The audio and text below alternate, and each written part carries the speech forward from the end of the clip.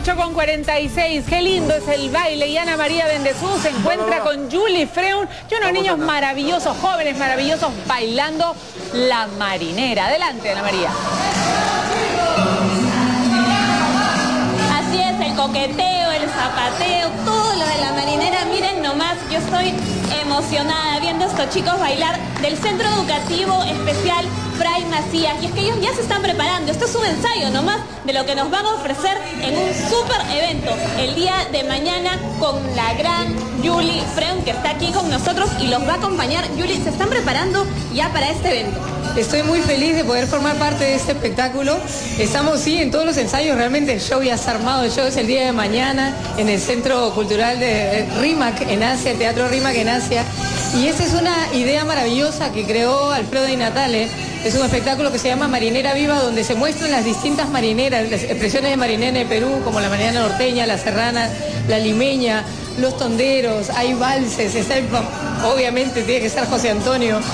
Y esta manera de incluirlos a niños con habilidades diferentes, con capacidades diferentes, es una manera de, es un show que dice marinera viva e inclusiva. Cinco parejas las que van a bailar, tú nos vas a deleitar con tu maravillosa voz, por supuesto. ¿Qué nos vas a cantar? Uy, ¿qué les voy a cantar? Les voy a cantar dos marineras limeñas, cuatro marineras norteñas, tondero, valses yo creo que el colegio es el colegio, eh, el Centro de Educación Especial Fray Macías. Es, la directora es Mercedes, que es quien viene trabajando con ellos muchísimo, de la mano de Alfredo y Natale para poder hacer este espectáculo Marinera Este es el segundo año del espectáculo y cuéntanos dónde pueden encontrar las entradas las personas que quieran, por supuesto, acudir a este maravilloso show y desde qué precios leen las entradas. Las entradas están a partir de 40 soles y deben estar hasta 60 soles, me parece. Pero a partir de 40 soles con tu tarjeta Ripley las encuentras en Teleticket de y Metro.